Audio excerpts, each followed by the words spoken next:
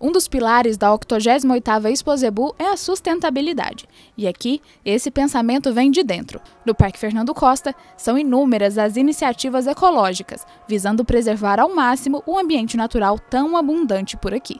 E durante a Exposebu, não poderia ser diferente. Economia de energia, economia de água, o bem trato do animal, o descarte correto de lixo.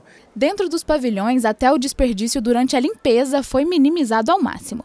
Bebedores que facilitam a troca de água e um número reduzido de argolas são algumas das iniciativas tomadas pela BCZ. Antigamente era a capacidade do reservatório de água era de 60 litros, a gente modificou para 20 litros que se quer fazer a troca, uma limpeza, ou a economia de água é muito grande dentro de cada pavilhão. Nós temos hoje 40 pavilhões aqui dentro. As palhas de arroz estão usadas por aqui durante a feira para garantir o bem-estar dos animais. Já tem destino certo para quando eles voltarem para as fazendas. Compramos a palha de arroz, que é a cama do gado, onde tem as fezes e as urinas. Depois a palha de arroz ela é direcionada para um local onde faz a compostagem certo? Então, se tiver materiais que não sejam esses, comprometem esse ciclo.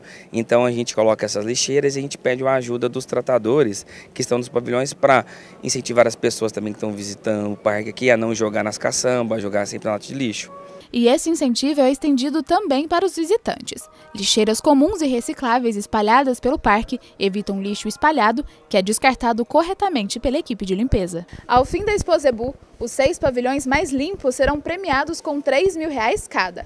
Palha limpa, rações bem armazenadas, espaço livre para os visitantes com todos os carrinhos do mesmo lado e luz apagada são alguns dos pontos analisados pela organização.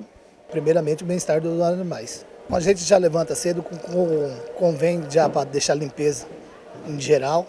Que nem, por exemplo, o gado sujou o corredor, para as pessoas passar até limpo, a gente varre e deixa tudo limpo. O gado sujou, a gente passa um pano para limpar tudo.